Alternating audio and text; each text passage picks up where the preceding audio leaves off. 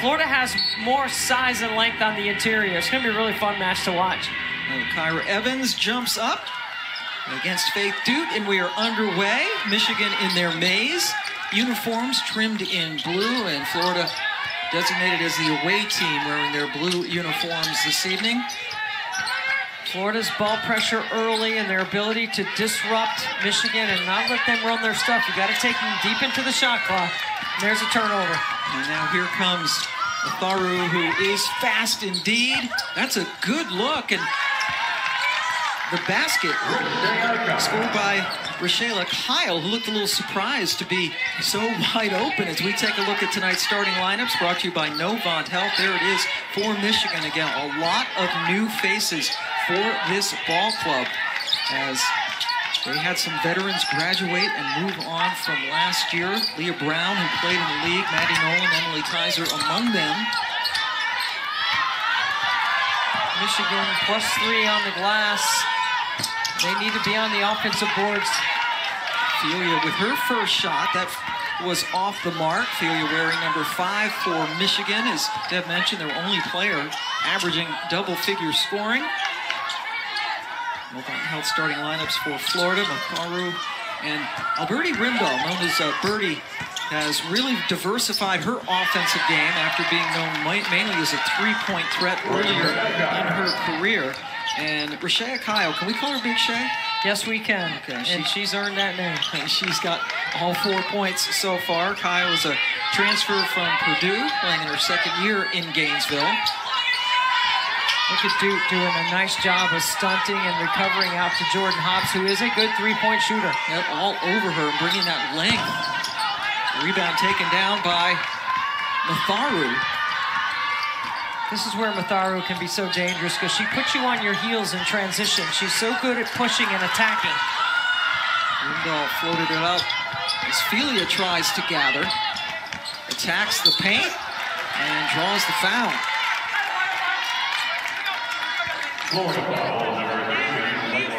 Reynolds called for her first personal, a freshman who has brought a lot to this Florida offense. Even though uh, Ophelia loses the handle a little bit right here, this is how fast she is up the floor. Like Florida has to do a better job in their transition defense. Both teams are going to be tested in that area tonight. Phelia at the line. And you see the numbers averaging just under 15 points per game, but the field goal percentage is down from last year. About eight points. Her three-point percentage also is down about 12 percentage points. But Kim Barnes Arico says part of that, especially early on, Phelia thought maybe she had to do too much. I, I think she does sense a responsibility there, and it's good to see her get to the free throw line early in the game because she did not shoot any free throws in the last two, and they need her to be a three-level scorer. Gets to the line on average about four times per game, which is tops for this Michigan team that comes in nine and two on the season. Foul on Jordan Hobbs. That sends Ra Shaya Kyle. So we were sort of joking with Kelly Rae Finley, the head coach of Florida, that if they ran their first 10 possessions of the game in the paint, that they would probably score on seven of them. And it looks like that's what they've done so far. They've been very effective getting the ball to the front of the rim. And Kyle has accounted for all six of their points. Meanwhile, Michigan 0 for 3 from the floor. Phelia, who appears to be in attack mode. Contact, and Dut hits the ground along with Hobbs, and they're going to get Dut for the foul. What's interesting about Michigan, and I've always admired this about Kim Barnes Arico's team, is they're not just trying to break the press. Like, if you want to press them and open up the floor, they've got good enough three point shooters on the back side of it. Now they got to make a good decision with the ball, pushing it up the court, and they did just that the last time down. And Jordan Hobbs, second leading scorer, averaging just under 10 points per game at the free throw line. And Jordan Hobbs, the last two games, has been quite productive. Goes one of two at the line. She's been moved to the four, the power forward position, after being a guard for the first several games. Kim Barnes Arico went with a lineup change after they got absolutely pummeled by Toledo. Well, the thing I love about Jordan Hobbs playing that stretch four is that she's not just a three-point threat, she's a hybrid four for Kim Barnes Arico because she can make decisions with a ball in her hands. So like a guard, she's used to playing face-up, she can handle, she's 6'3", she's got skill. I mean, she's a tough check. On the other end, they've got to try to take advantage of that with their speed. Coach says that Hobbs is the best passer on the team as well. Matharu, a little bit of daylight, and that's all she needed. It's a big 22-point game and a blowout win against Gardner Webb. They won that game by 78 points. That's a new school record. We've seen quite a few of those around the country. Yeah, and guess what? When that happened, Florida's net went up by like 30 spots. Okay, so what does that tell you? It's point differential. It's not good. I, I agree. I think that needs to go away. This was also a concern of Michigan was the pressure and not getting beat, getting beat in transition after a turnover. Correa converts oh, Michigan down big early, takes a timeout. Michigan is not yet hit a field goal coming over from Texas, Myron, where she was honorable mention All Big 12, led the team with in uh, made three-point field goals, playing for Vic Schaefer, and yeah, the so that's that's going to open up some more things, right? The, with the, there's basically it's there's no transfer rules anymore. Right. We went from all these restrictions to no restrictions yep. to trying to put the restrictions back, which the coaches did agree on. Mm-hmm. There was a unanimous vote by university presidents for a one-time transfer. And then the coaches, everyone has a, a waiver that they apply for, and the federal judge, to Myron's point, removed that stipulation, and now you're eligible to play, and you do not lose your year if you play now because there was a 14-day stay, and that, that's been removed. So that's more legalese than I ever care to get involved in. Very well done. Michigan has yet to hit a field goal in this game. A couple of turnovers have led to Baskets both times for Florida. Michigan in a zone. Faru with a nice floater. I mean, Kim Barnes Arico has to try to change the rhythm of the game, right? And I like Florida using their length and their quickness here to be disruptive with their defense. You know, we were talking to Coach Kelly Rae Finley as Hobbs launches from three. That's a nice catch and shoot from the perimeter. There's South Carolina and there's LSU. And then it feels like there's everyone else right now, and it's wide open after that. And the SEC with the, the two big dogs at the top, and as you mentioned, there's a lot of question marks surrounding teams. Tennessee finally, thank goodness, got Rickea Jackson back last night. There's it. There's two teams ranked in the league, and I was being sarcastic, a little facetious before, but uh, their net did go from 59 to 55 after they hammered Gardner Webb by 78 points. 78 points. Which, uh, and that is a factor, as we mentioned, in the net. And to Gardner Webb's defense, that is a new coach and a first-year head coach. And the officials looking at each other. One had his fist up ready to call the offensive foul, and that's what we got. Tim Daly, Natasha Kaming, and Michael McDonald, our officials this evening. So this is uh, one of the things that the NCAA officials want to clean up, and that is two whistles on a play. I like two whistles on a play personally because I think that means that it's right. You know, like especially on a block charge. But that play was in the lead's position, and the lead's supposed to have the primary. Correa called for her first personal foul.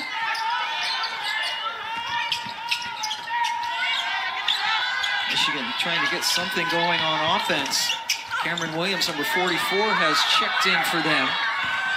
If Florida doesn't turn Michigan over, they've sped them up on the offensive end. Michigan's going to have to get that cadence on the offensive end. Warren with the drive, double team, got the shot up anyway, and Williams is able to rip it out of the hands of Dut. Yeah, big rebound right there. Here comes Hobbs. She's been effective early. Brett, one of two Australians on this team, fires away. She is a grad transfer from Bowling Green. She only made eight threes in the last game, yeah. eight for 11. She had 27 points against Miami of Ohio.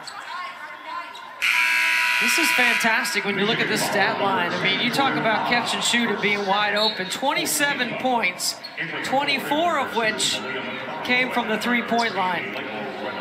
That's a nice career high. That certainly is. And uh, the eight threes, as uh, Sarah Van Meter, their, their excellent sports information director, said she that was the most in a game in the nation this year for about eight hours before Caitlin Clark pummeled in eight threes in her game later that day.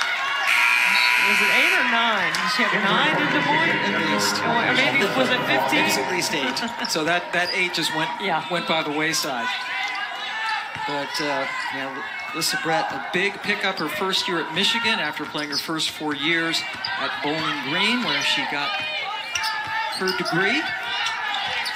You mentioned Caitlin Clark, and she's 448 points away from tying Kelsey Plum. I, I hate to start the count at 448, but I think it's interesting, right? We're keeping an eye on Yeah, it. for her, that's not a lot. Hansen nails it. She has 18 games on Iowa's schedule remaining, not counting potentially three in the Big Ten and then whatever they do in the NCAA tournament, right? So uh, it's pretty sure she'll get it.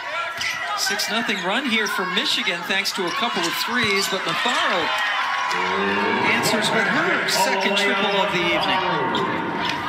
And that ends a scoring drought of a couple minutes for Florida. Hansen with the ball in her hands. A Missouri transfer. She's really from Long Island. And she started her career at Auburn. She's also a three-time Yep. transfer, or two-time transfer, three schools. Cups out for Brett Williams. Couldn't quite chase it down. The ball goes to Florida.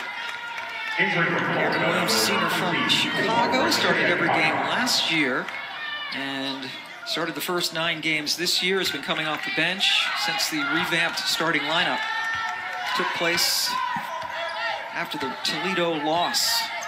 Good rivalry between Toledo and Michigan. Those two schools not very far apart.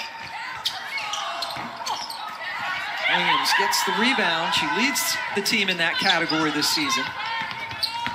Good change of pace by Hansen. What a nice take. Beautiful blow by the open floor. Last four games, Hansen's really picked it up on the offensive end. And Kim Barnes Arico really challenged her today at shoot-around to, to play with IQ and continue to play with that measure of toughness that she brings to the top of the floor. This is a beautiful take right here. I gotta say, it's a little bit of a weight room bucket as well as she manages the contact. Foul on Rimdal, and that is the first two-point field goal for Michigan. She has a chance for the three-point play. Two of the three years she was at Missouri, she started for Robin Pingeton. She only shoots 90% from the three, Not free bad. throw line. It's pretty good. Got her degree in Columbia. Here's the turnover.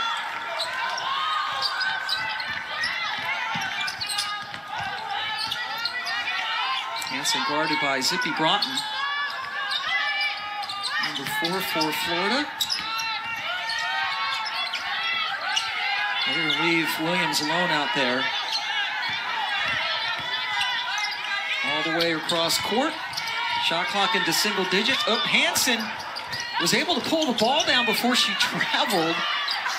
And the follow doesn't go for Taylor Williams. Correa, too strong. Williams and Kyle kind of tied up, trying to get rebounding position. Kyle has had an excellent first half so far in first quarter because she has scored in the paint. She's rebounding the weak side. She's doing a good job of defending without getting in foul trouble. She's a presence in the paint in that drop coverage or her sagging on their man-to-man. Well, Kyle at 6'6", her second year at Florida. And last season,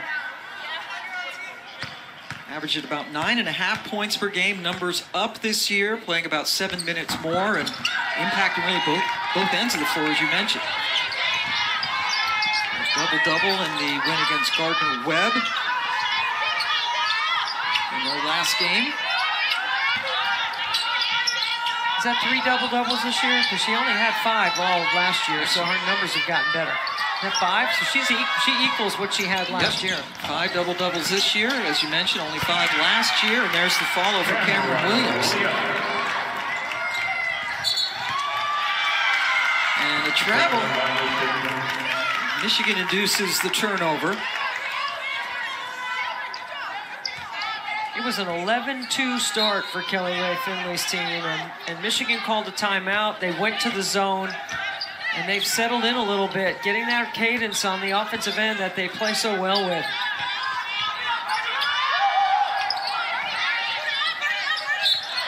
What a Kampschroeder, number 11, in for Michigan. You might have heard her going, uh, calling for the ball. She was alone momentarily.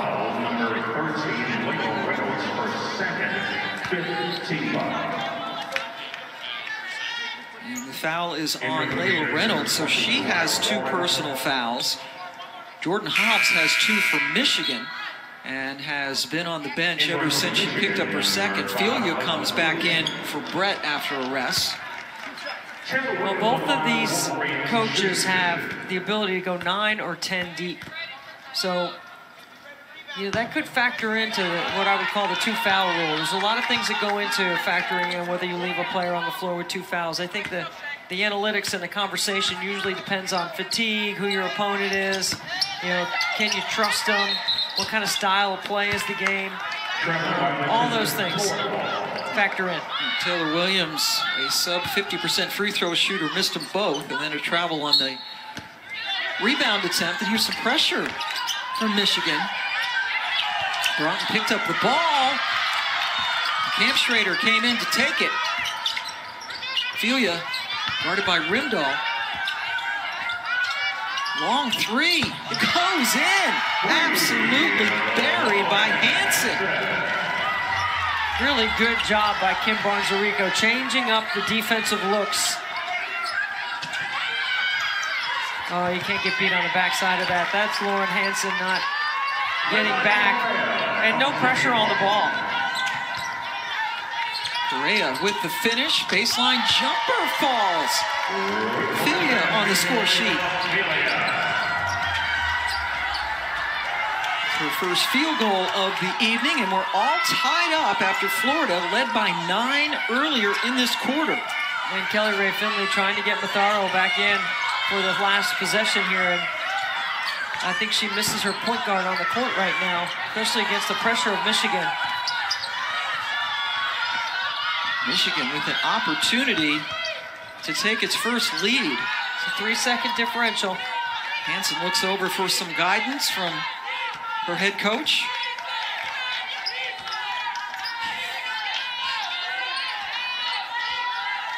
Kind of swatted away, Correa's hand out there. She's from Long Island after all.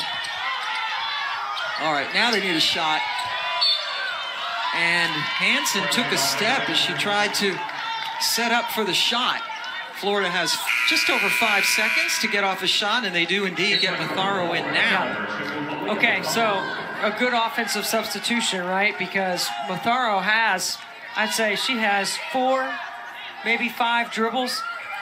Yeah, she can cover a lot of ground in a short amount of time. There's five dribbles, and she turns it over. Got the shot up, but originally Kampschroeder was able to get a hand on the original shot. And we are tied up at 19 apiece after one quarter of play in Charlotte. Dawn Staley has as much depth as she usually has, and the guard play to this point has been outstanding. It's hard to believe you can win 36 games, and some say they may be better. I think they were one guard away from winning the whole thing last year. Ryan Warren nails the three to get things started here in the second quarter. Pam Ward, Deb Antonelli, and Myron Medcalf joining you. Michigan and Florida playing for the first time in 11 years in women's basketball at this Jumpman Invitational.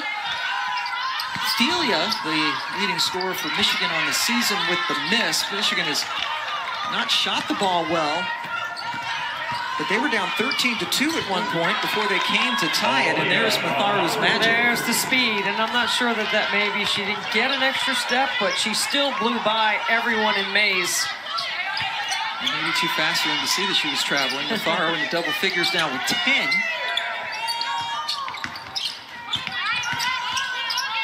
Phelia just a little bit too short. Michigan really cognizant of getting back to try to slow down any transition opportunities. Matharu on fire. Nails another three. Uh-oh. Uh-oh. She's coming off 22 points in just 14 minutes against Gardner Webb, and she's got 13 here. 11 and a half minutes into this game. Phelia yeah. finds it. She's good. I mean, she can stop on a dime. She can manage the point. She's got combo guard skills. Junior out of Cincinnati, who's become the number one option this oh, year. Florida's offense is clicking to start this second quarter. Correa gets the basket. Second year at Florida after starting her collegiate career at St. John's in New York.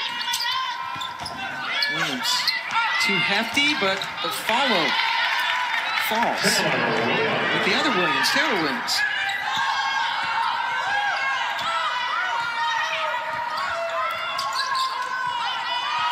Florida outscoring Michigan 10 to 4 so far in this second quarter. 10 points in the first three minutes for them. And Laila Phelia is the lockdown perimeter defender. She's got the Matharu assignment in the quarter court.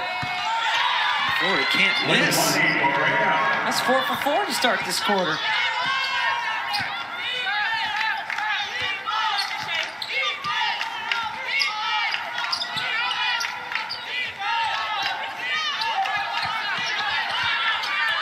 Phelia going by Matharu has a height advantage on her, and there's Kyle sandwich as she hits the floor. Michigan foul number 33. Taylor Williams picks up her first personal foul for Michigan. Michigan played 10 players in that first quarter. Coach Barnes says this is the deepest team that she's had in quite a while. And they're long and they're athletic. They have a lot of perimeter size. Florida went eight deep in the first quarter themselves. Matharu lost her footing, but was able to calmly get her over to Kyle. So plenty of time left on the shot clock.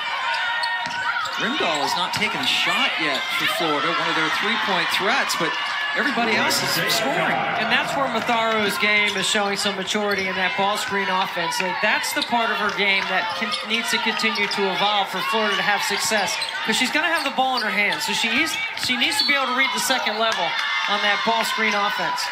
And there's an offensive foul, a moving screen on Elise Stuck. Michigan foul Elise Stuck.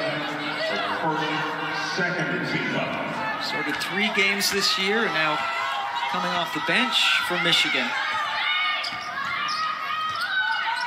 Michigan being outscored by 10 points here in this third quarter. Florida's not missing.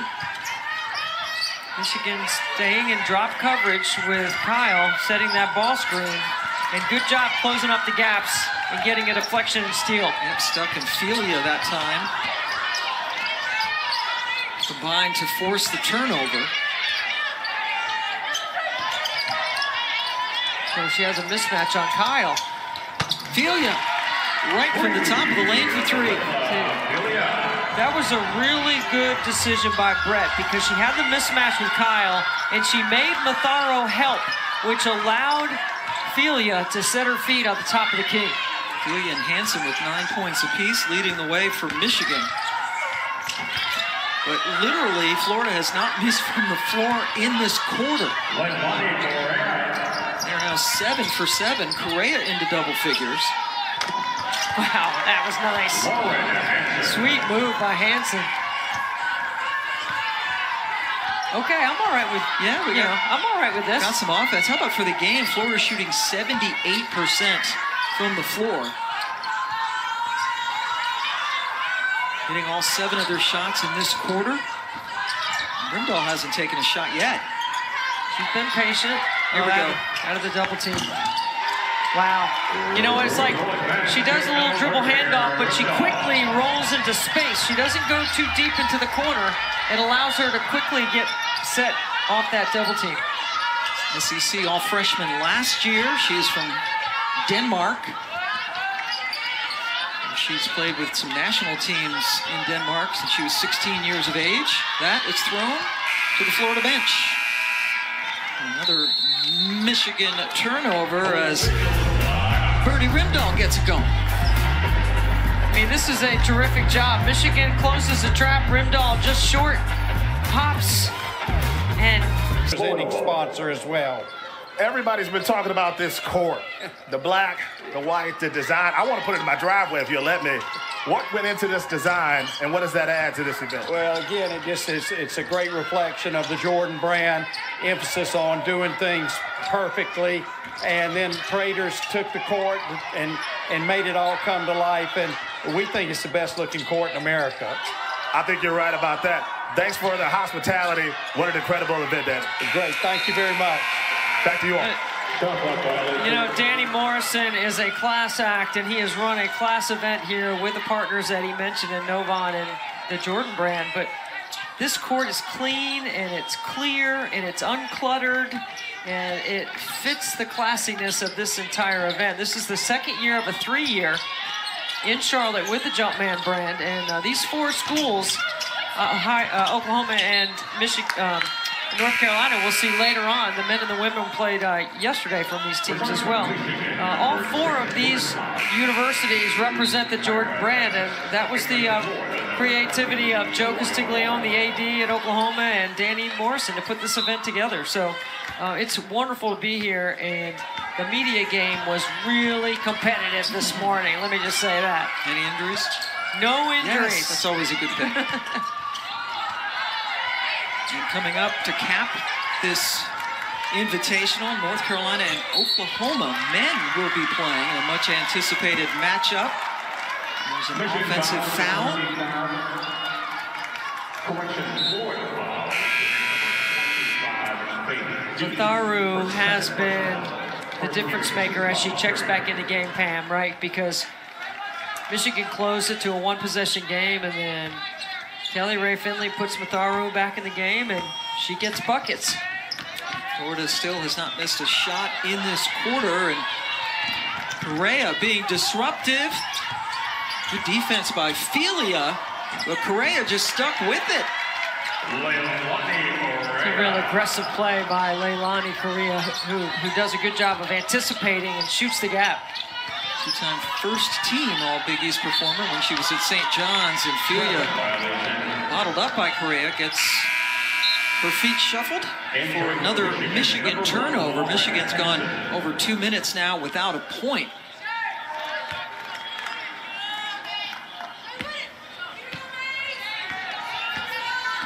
It has been a terrific quarter for Florida, outscoring Michigan by 12.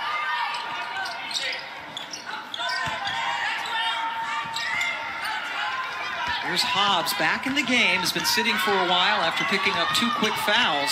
Pulls her way in there and draws a foul. It's a great straight line drive by Hobbs. You don't see two hips, two shoulders as you approach the scoring area.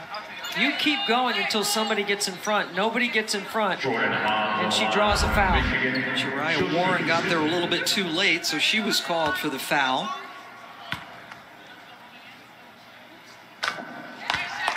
Delivers at the free throw line.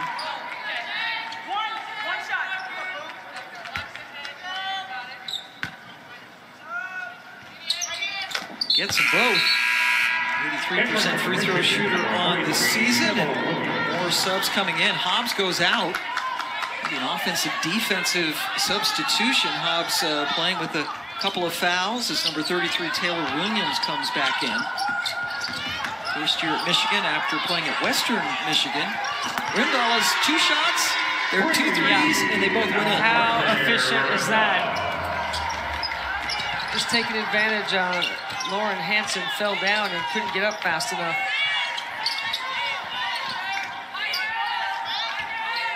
As a team, Florida six of seven from distance. Good defense to cut off Phelia, who wanted to test the baseline. Brett Oh. got stopped by Matharu. She's everywhere. So quick and athletic. Smallest player on the floor. Here's a long three. Just back rimmed it. Now Hansen comes away with it. Michigan shooting just 38% from the floor. They've gone three and a half minutes without a field goal. And another turnover. This is a breakaway. No way you're catching her. Oh. Thar is such a weapon.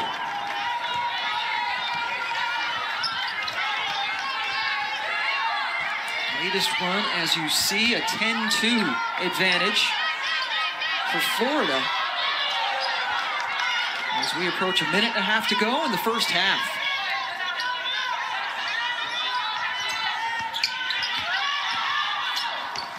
Shot off the mark. Oh, big rebound. Yes. Great. Big weak side glass. That's Taylor Williams.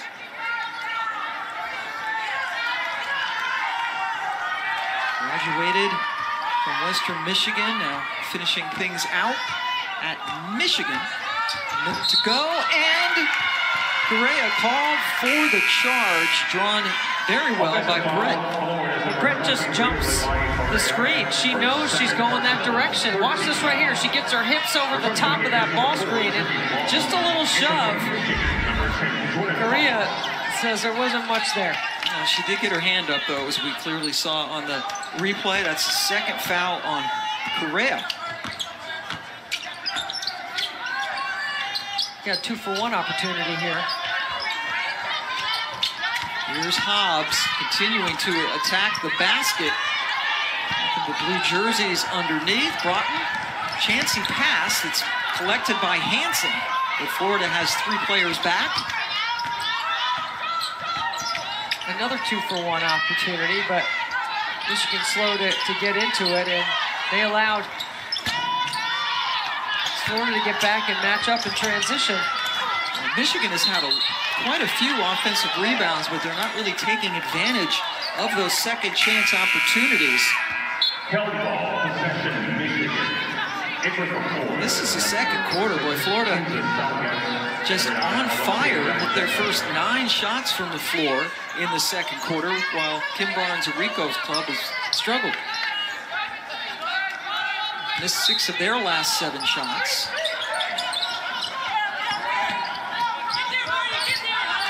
To really take the last possession here, even though there's a, a little bit of a differential. See if you can take the shot with enough time to get an offensive rebound. Go to their box set. Hansen and another travel. I'm not a big fan of that misdirection sometimes when, especially when the pass was behind her. It was not a high enough angle to make that pass. 11 Michigan turnover.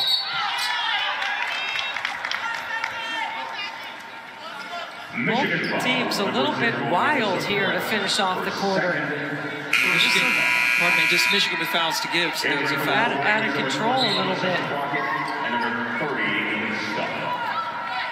It's a second foul on Elissa Brett, who has not scored in this game 0 for 7 for the Aussie, including missing all four of her three ball attempts. Florida with a very dynamic second quarter, outscoring Michigan by 13. Take the lead in the locker room. And make her hesitate so that you can get everyone back in transition to build the wall. You take a look at the field goal percentage. Yes, 72%. That was not a misprint. 72% for Florida for the entire game. Even higher than that in the second quarter, in which they outscored Michigan 26 to 13. Michigan really struggling from the floor. She's not struggling. Rimdal has put up three threes, and they've all been Well, buried. it's a good throwback by Matharu. That one hard dribble, and then you pitch it back, and it gives Rimdal time to get organized. Rimdal got off to a slow start. Matharu and Hansen going after the ball. Hansen was able to rescue it, but then another turnover as Brett stepped on the sideline. Elissa Brett, the grad transfer from Bowling Green, averaging eight points per game, missed all seven of her shots in the first half. You know, I like that Kim Barnes-Arico starts the second half in zone. I think it's important that the first possession was zone just to give Florida something to think about, but now they're back in their man. Oh, they lost Dut, and fortunately for Michigan, the pass was not on the mark, and Dut a little bit slow getting up. A 6'4 senior, fifth year senior from Vancouver, British Columbia. The only player who started every game this year. Head coach Kelly Rae Finley was very quick to get out there along with the athletic trainer.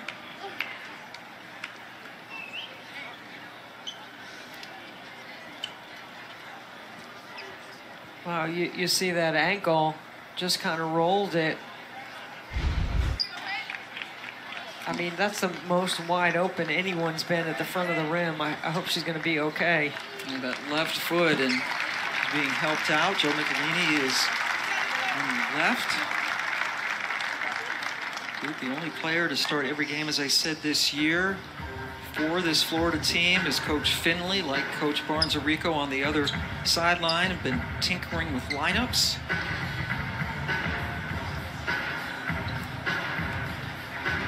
Coach Finley, before they came out for the uh, second half, I caught it on camera, she gave uh, Leah Matharu a nice hug before she came out. She kind of, you can see why she would do that. Matharu was just terrific in that first half. 15.6 of 7 shooting, including three threes. And in her third year, went to Colorado State. She graduated in 2008. Maybe the second most famous women's basketball player out of Colorado State. You mean Becky Hammon? Yeah, Becky Hammon has done some things. You know what? Kelly Rae Finley is an excellent teacher, and she's a terrific communicator. Like, her players know exactly what she expects from them. They're starting to understand their roles better. Uh, I think she's done a really good job with this team. And that might have been the most fluid play run by Michigan. Chyra Evans gets the basket. And still the 14-point advantage for the Gators. Here's zone on a make, man on a miss. Tharu with her few misses, but another rebound for Kyle. That's a lot of size at the front of the rim for Kelly Rae Finley's team. 6-6. Kyle started the game scoring points in the paint early, and they're going right back to it. It's a great offensive rebound. I think that shot was too forced, though, by Matharu.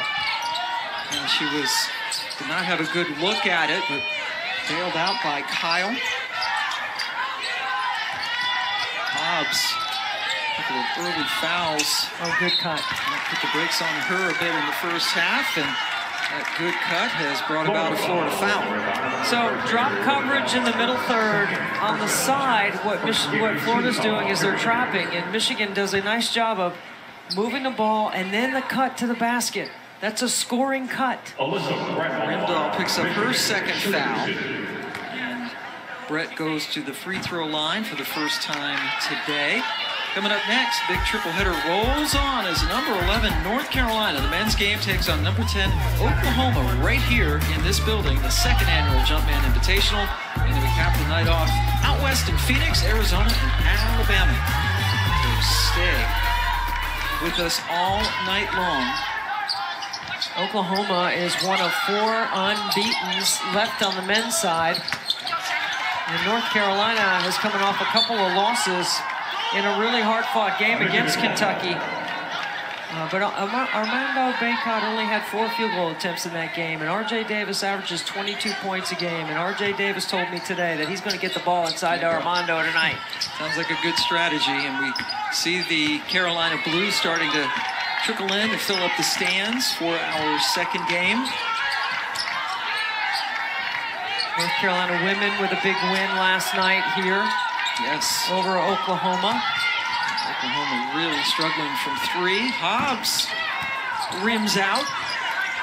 Tharo gets it, but a little friendly fire ran into Kyle, so she was unable to put on the Jets and start a break.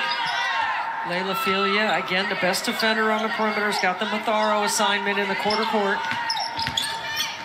Nice move and the finish for Laila Reynolds, who only played five minutes in the first half because she picked up a couple of early fouls, but she's a very important freshman for this team. Top 20 recruit for Kelly Rae Finley, one of the most decorated recruits that she's ever had at Florida. From Brandywine, Prince George's County, Maryland kid, and a chance for a three-point play. Count it. Laila Reynolds, the 6'1 freshman, back to back in the open floor this time, handles some contact and scores. That's an important foul for Michigan because Jordan Hobbs now has three. And both of these teams have some WNBA players helping out on the sidelines. For more, let's go to Myron Medcalf. Yeah, Ariel Atkins has been a player development coach, Michigan helped a lot. And Rhyne Howard, WNBA standout, is playing the same role for Florida. I talked to Laila Reynolds. I said, How has she impacted you? She said, She's shown me how to be a big, powerful guard because that's what she is at the next level. And I think you're seeing some of that with that last play from the young Laila Reynolds. Yes, and uh, Rhyne Howard with Florida roots. Her mom, RJ, played at Florida in the late 80s into the early 90s and actually got to play against our own Carolyn Peck when Carolyn was at uh, Vandy. RJ's in the house. I saw her earlier, got to speak with her. Great family, and Ariel Atkins is on the, there's Ariel, uh, over on the Michigan bench.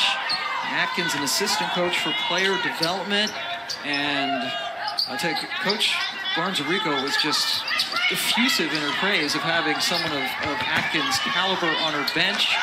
Okay. Rimdal oh, still hasn't missed before, but that was her first two. They had a relationship in USA basketball, Atkins and Barnes Arico, and that is translated into this opportunity for Michigan. Well, I think it's so important to show these young players what work looks like. If you're playing in the W and there's only 144 spots, you work every day to hone your craft and stay in shape. And I think that's what Ariel and Rhyne bring to both these programs. A real up close look at what hard work looks like and what it takes to be a next level player. Both of them also in the U.S. national team camps. Ariel won a gold in Tokyo. They will start things up again in February before a tournament in Belgium. A turnover. For more on Ariel, let's go back to Myron. Yeah, I talked to Laila Phelia about her relationship with her. She said she's taught her how to pay attention to details. Before a recent practice, Ariel Atkins showed her film of her guarding Sue Bird. She said, Laila, I want you to watch this. Laila did. She says, I think I learned a few things. Ariel Atkins said, great. Go watch it again and find something else. She said that's the attention to detail that Ariel Atkins has brought to this staff had a chance to talk to Ariel about her conditioning because you know the Mystics uh, in the WNBA could look a little different next year. We're not sure, um, you know, who's who's in and who isn't. But uh, the one consistent is Ariel, and she looks really in great shape. She's thinner. She is in condition. She's working on her explosiveness and her speed right now. And of course, uh, her skill set's outstanding. And, on both ends of the floor, she's a tremendous defender as well. And Coach Barnes-Arico talked about when she first came in, the players, Ariel was like, nobody nobody really talked to her for like the first three weeks, fangirling. They kind of, uh, because Atkins is so accomplished, but since then, she said Ariel's attention to detail that what Myron talked about too. She does spreadsheets on each player about what she is seeing and what she has talked to them about what they have to work on. I see a lot of young women treat you the same way, Pam. no spreadsheets. Not the spreadsheet. No. no the fangirl. Like, here comes No, Pam yeah, Warren. right. Watch out. Hey, who is that old one? Uh, well, Atkins and Howard definitely for both teams have been tremendous assets. Another foul. That's that's one good thing, right? When they- when they're able to expand the coaching staffs for in women's college basketball, it has afforded this opportunity for people like Atkins and Howard to, to affect the next generation of players. There's a lot of coaches that fought for this extra position for young women to have an opportunity, like Ariel and Rhyne Howard. And Sylvia Hatchell was one of them, former University of North Carolina coach. Michigan continuing to kind of muck things up. They forced quite a few turnovers. Phelia with a very good look, left it short. Rebound by Reynolds, who has had a really good third quarter. Well, Michigan has to find a way to change the rhythm of the game. I mean, down 20, you've got to look at it like, let's see if we can get it to 10 by the fourth quarter, and then cut it from there. First time that Rimdal has missed a shot. Michigan's missed its last four. Hobbs crashes to the floor. We will take a timeout. Florida up 20. There's so many horrible but yet inspiring stories like Ed's and what impact he's left on our industry and why we'll continue to keep supporting his fund so that we can create opportunities for new people to get a chance to work in our industry and our field. And that, you know, makes me think about later tonight, you know, we have the University of North Carolina playing in their first game since Eric Montross passed of cancer. 52 years of age, he was diagnosed in March, and if you knew Eric, he was a gentle giant and an incredible, classy ambassador, not just for the University of North Carolina, but for basketball in general. Everyone that we talked to had such nice things to say. Another young man who was taken from us, and I know North Carolina, all their alums and fans playing and uh, watching tonight with a heavy heart as North Carolina will play. The men getting ready to take on Oklahoma after this game is completed. But, gosh, Kelly Rae Finley's club. Impressive. Impressive. Yep, really good. I mean, I knew, I saw him in uh, the Bahamas. I watched him for a couple of days playing at Baha Mar, and I knew they were athletic and skilled in the guard spots. But now they're starting to put it all together, which makes them really dangerous because they're connected on the defensive end, and their collective IQ has gotten better about understanding their offense. And at the same time, Coach Finley has put in some stuff that's new that will trigger the best out of her players.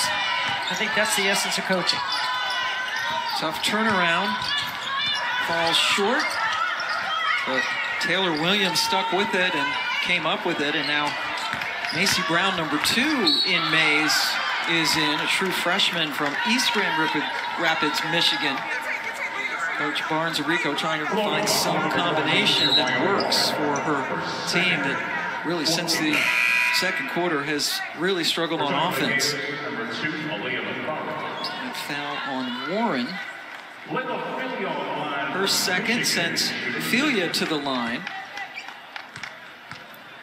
But Friday night NBA action, the only one on ESPN's schedule. It's West Coaster. Steph and the Warriors hosting the Wizards, who finish a, are finishing up a four-game West Coast road trip.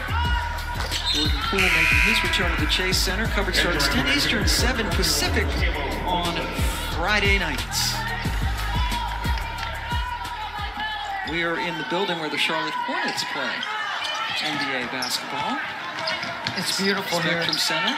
Yes. Nice location too. It's the uptown section of Charlotte. Lots of stuff around the arena.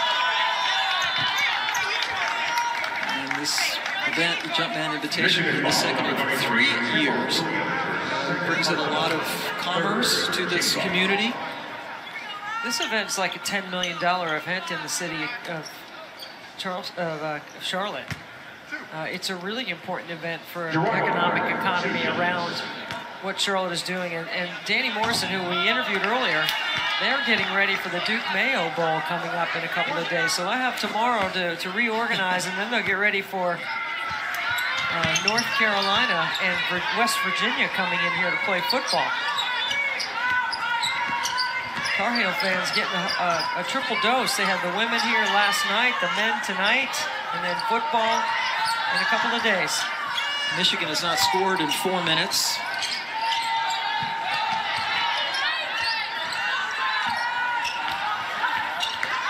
Still can't get anything going as Williams couldn't gather it underneath.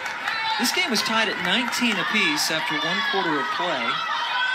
And since then, it has been all Florida, just 21 points since for Michigan. I'm going to give some credit to the Florida defense for some of that because they have been disruptive. And there's a nice extra pass for wide open three. And look at Matharu hustle for the rebound. And she gets bumped out of bounds. Foul on Taylor Woodson, freshman from Minnesota. But their defense, again, Pam, is what I'm talking about with, with Florida.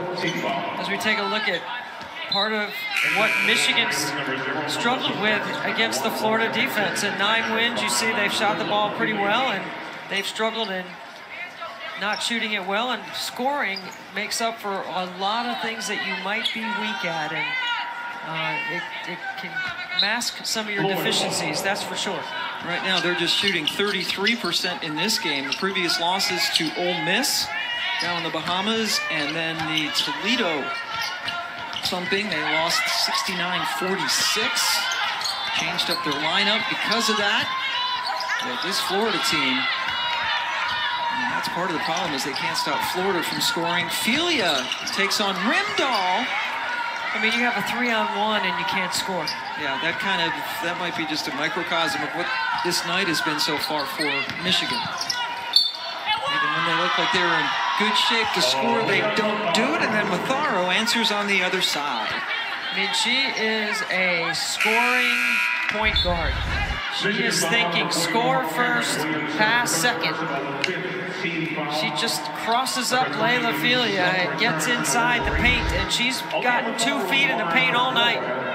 She has been a big difference maker, particularly in that second quarter when they outscored Michigan by 13 in what had been a tied game after one. Cameron Williams has three fouls. Matharu has a three-point play. Entering from Michigan, number 22, Chyra Evans. Chyra Evans coming back in, a sophomore from Australia, one of two Australians, along with Elissa Brett on this team.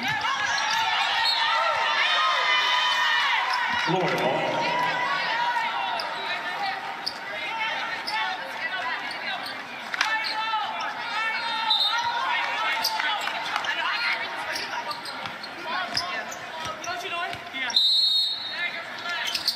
Just over two minutes left to go in the third quarter. Matharu slices into the lane. Rebound tapped and controlled by Stuck. Hansen, the point guard for Michigan. Team that has gone five minutes now without a field goal. Fouls. Hansen drives into the lane. Nice pass from Evans. Yeah, nice give and go right there. Good basket cut. Try to get in the paint, try to get something easy.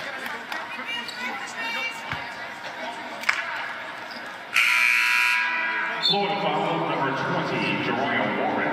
For the third personal. Third foul now on Warren. Entering for Florida, number 13, Michael Reynolds. Jaya picks up her third Hansen on the line from and takes a seat. Sends Hansen to the line. Coming up next Saturday, December 30th, right here on E ESPN2, college basketball triple header begins with a women's game at noon Eastern Time. Number one, South Carolina, going to go up to Greenville, North Carolina to take on the Pirates of ECU, East Carolina. So join us for that game. Can't wait. That'll be after the holidays. Yeah, always, always fun to see South Carolina. So we make that trip to Greenville, and Florida just keeps slicing and dicing. It's great. Te-Hina Paopao has become one of the top point guards in the country for Dawn Staley, and under Dawn's leadership, she's become uh, even better at what she does, and especially with all that talent she has around her to distribute. Raised some eyebrows when Paopao left Oregon and chose South Carolina, but it certainly has been mutually beneficial. Hansen hits the three. Lauren Hansen with 18 points. That is a new season high for her. Had 16 and a win at Harvard earlier on.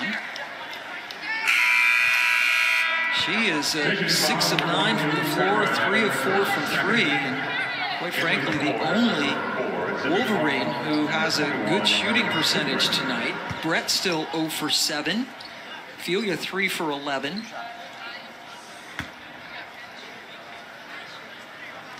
And Matharu just can slice it through the defense anytime she wants. Matharu, in her first year here at Florida, which is her third school, and we've already mentioned that what a difference maker she is going to be for the Gators this year. She graduated on Saturday, as did Zippy Broughton, who graduated again. She got her master's degree, so congratulations to them. A big week. Some pressure now.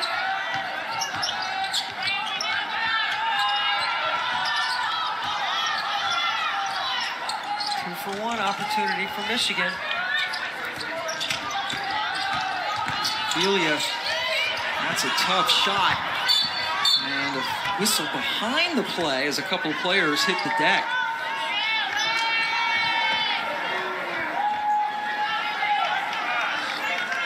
And the foul is on Lee Stuck. That is her second personal foul. Stuck's on the weak side right here. Leilani Correa on the I don't know about that. Barnes-Arico is just not happy right now. Yeah, she's not happy about a lot of things. That call being one of them, down now by 22 points. Correa at the line, her second year at Florida. The Big East Player of the Year at St. John's back in 2020. when She was a freshman. The sixth Player of the Year. And here we go. Not much of a difference at all between the two clocks.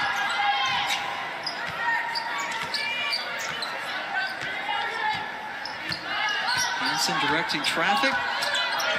Coming off that flare screen, and Correa does a great job of staying lock and trail around that curl. Celia kicks it out. Michigan has missed nine of its last 10 shots. And the 10 of its last 11. They have only scored 13 points in each of the last two quarters and trail big after three quarters of play. Florida thumping Michigan right now. Pam Ward, Deb Antonelli, and Myron Medcalf joining you. And yes, Michigan shooting just 31% for the game. And were not for Lauren Hansen, who's six of nine, the rest of the team, Lauren six of nine, their point guard, rest of the team shooting just 22%, eight of 36. Are you surprised by what you're seeing here, Deb? You know, I mean, I'm a little surprised that Michigan didn't shoot the ball a little bit better. I mean, as a team, they're 44%. But they're, they usually assist on 51% of their baskets, and tonight they have, well, they're at 50%, but they've only made 14. You know, and Hobbs, if she didn't get in foul trouble in the first quarter, could have been a difference for them. But we could see what she can bring and what she can do with her size and frame playing that stretch four position. She joins Filia and Hansen in double figures. Now, this is something that Kelly Rae Finley told me she put in was the dribble drive for Matharu. I mean, Matharu doesn't have any problem running any offense. She's just so quick. Getting by Brett. Kyle pops.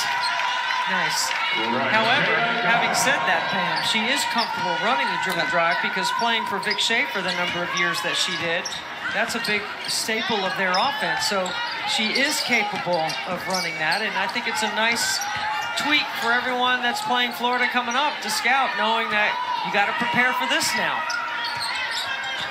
And Tharo bringing a whole different dimension to this team.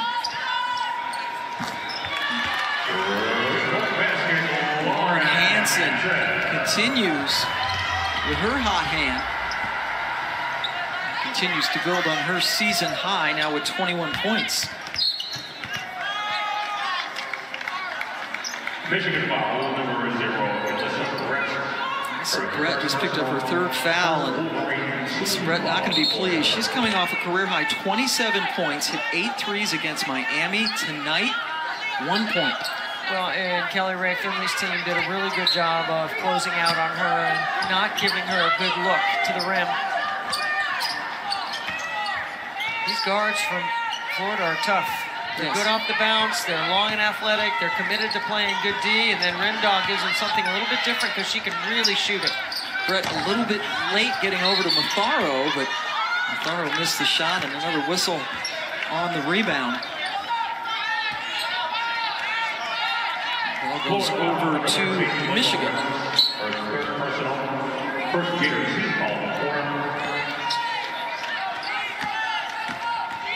Out on Laila Reynolds. That is her third for Florida. Florida shooting 63% for the game. A lot of fouls and protestation on that last call. Florida number 13. Quickly picked up her fourth, and she's going to go up. Go out. Florida number 20, Jeriah Warren.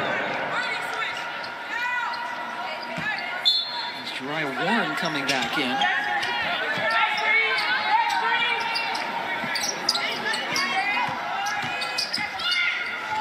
Hansen. The back rim. Brett got the offensive rebound, but then threw it away. This team did a really good job establishing the baseline first, using their size on the inside, and then getting the ball in the paint off the bounce. They're really tough to check. That's just nine points from the rest of the seven Gators that have hit the floor tonight. But plenty of offense. Matharu, oh my. Cannot lose her. Aaliyah Matharu. And you know what? That's a really hard post up in the paint by Kyle that occupied one and a half defenders that left Matharu wide open. Are now with 22 points for the second game in a row. Michigan gets the basket from Evans. And an offensive foul drawn by Brett. A little bit out of control. Nowhere to go. Into traffic. See, these are the plays that Kelly Rae Finley knows her team's going to have to clean up. That's a good call by the official. Third foul on Correa. Here's head coach Kelly Ray. In her third year, kind of came in. His name is a permanent head coach in February of 2022. Coaching change down in Florida. Had been an assistant there for four years, an associate head coach for a couple. And the interim head coach before the 21-22 season, before she was named permanent, whatever that means, head coach um, during that season. She's done a good job. Very impressive tonight. It's a chancy pass. Phelia was able to rescue it. Shot clock into single digits. Nothing's come easy for Phelia, but that was a nice finish. I mean, she gets her shoulders over her thigh pads like a running back, which is the way I love watching her. It's a really great way to drive to the basket. Hard to knock her off her line. left open just for a second, and that's all it took. And then the extra move for Jeriah Warren. Michigan actually outscoring Florida in this quarter by three, but the last couple quarters they gave up 49 points. Another board for Kyle, who is creeping closer to a double-double. That's her ninth board to go along with 13 points.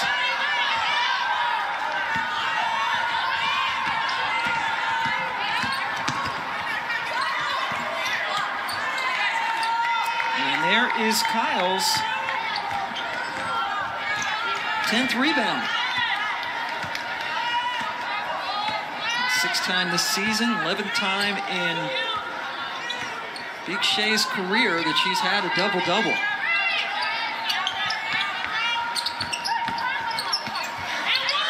Underneath and another nice finish.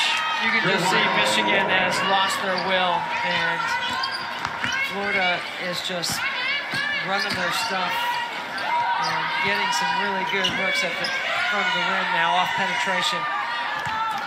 Michigan will play Florida A&M at home Friday afternoon game, and then their big game against Ohio State coming up Saturday, December 30th. That'll be a noon game in Ann Arbor. Ohio State. That's That's going to be a formidable opponent, to say the least. Oh boy, that'll be a good one. Jacy Sheldon is, I think, one of the top guards in the country, and Cotie McMahon is playing really well. Kevin McGuff has a team that experienced just a few possessions away from the Final Four last year, and they've got good bulk of their team back.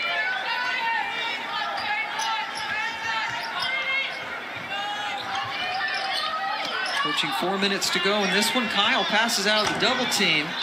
Rimdal couldn't get it to go, and so this is Brett. Her third straight start today. And there's another walk. Oklahoma, uh, Javian McCollum is the other along with Otega Oweh. They are combining for 30 points and a little bit more than 55% from the floor. They, they are really good. And this is a 3 and D look for Porter Moser and his team at Oklahoma. That's really good. That game will be on ESPN. Phelia got a nice look. So uh, when we're finished here, turn on over to ESPN to see that game. Deb will call, will call it with another icon, Dave O'Brien. Definitely an icon. He needs security when he enters the building. Everyone wants to talk He's to him. man. Should be a good one. A Couple of highly ranked teams. That's a tie-up. Cameron Williams gets the held ball, possession arrow in favor of Michigan.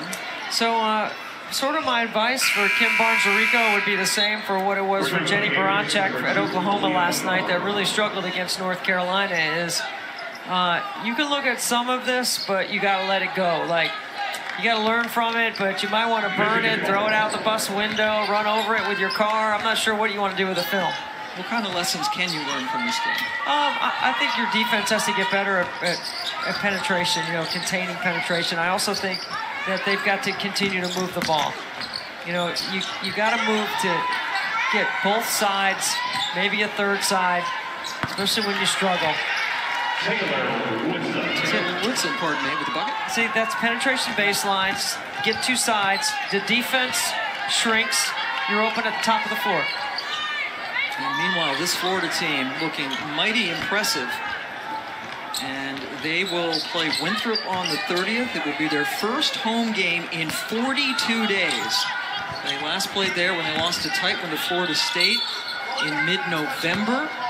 Building booked for the volleyball program, which usually has a deep run in the NCAA tournament, but uh, the volleyball program had key injuries, only lasted one weekend, and this is this is quite a road trip, road games, and then some uh, neutral sites like this one as well. I think you can build some really good team chemistry.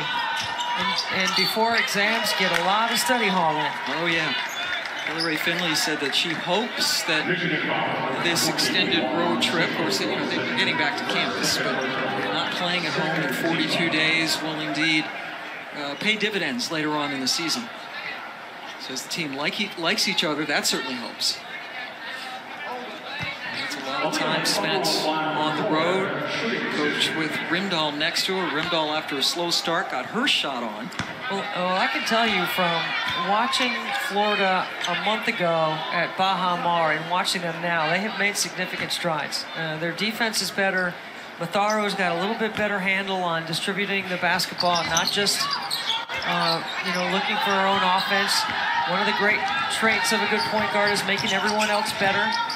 But hey, when you know you can drive it from one rim to the other and no one can stop you, that's impressive. And here she goes. She stole it, took it all the way down, and drew yet another foul. She has been a huge difference maker. Not many people are as fast as her, Michigan certainly has struggled trying to contain her on both ends of the floor. I mean, a live ball turnover, and the floor feels like it's tilted, and she's heading to the rim. Eyes up.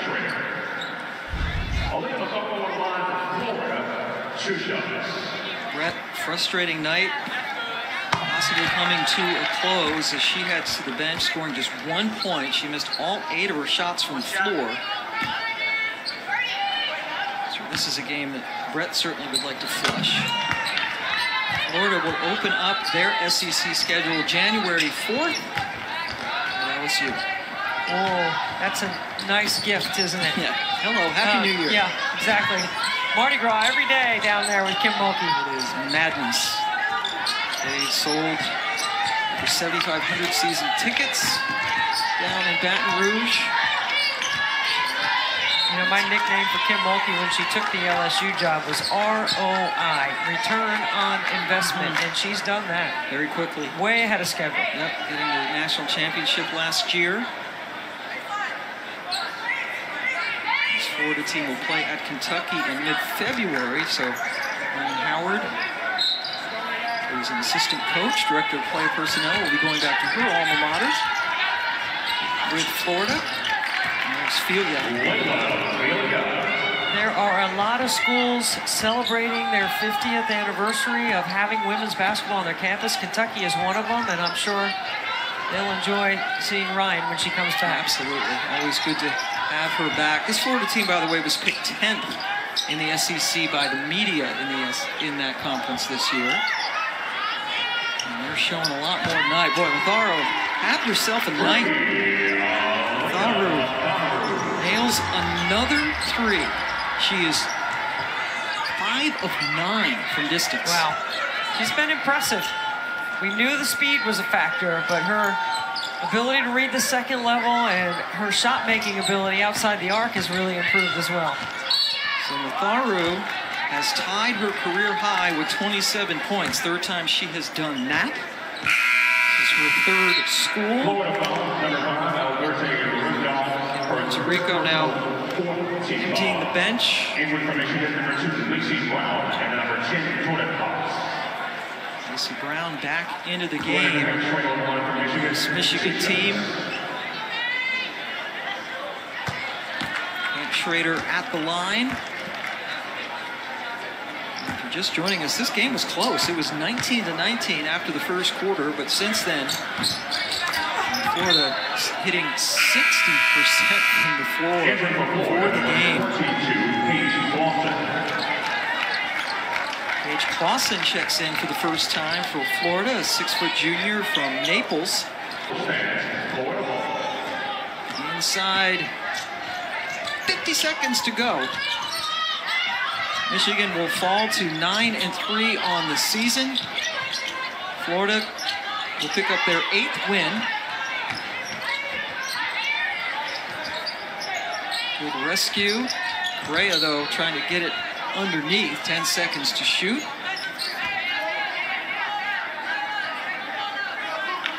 Thank our crew who are doing all four of these games in two days. Kyle Binder, our very good producer. All these guys, the crew, you and Dave O'Brien over on the men's side. Debbie doing all the games as well. A lot of hard work and some good stuff coming out of Charlotte. Yeah, a lot of fun to be with you, Pam. Always fun to be with you. Unfortunately, the games weren't as fun, but I'm really looking forward to your nightcap with, with Dave O'Brien. Holy smokes. Should be fun. North Carolina, Oklahoma men coming up on ESPN. Oklahoma number seven in the country, undefeated. North Carolina number 11, coming off a really great game against Kentucky. RJ Davis, one of the most exciting guards in the nation to watch for North Carolina. Just south of 22 points a game. And uh, Oklahoma, they are efficient. They cut hard, they pass, they move the ball, they're locked in defensively. Should be a good one. Seventh time this year, Florida has scored at least 80 points, and the eighth time they have held an opponent under 40% field goal. Boy, what an impressive performance. Matharu with 27 tying her career high.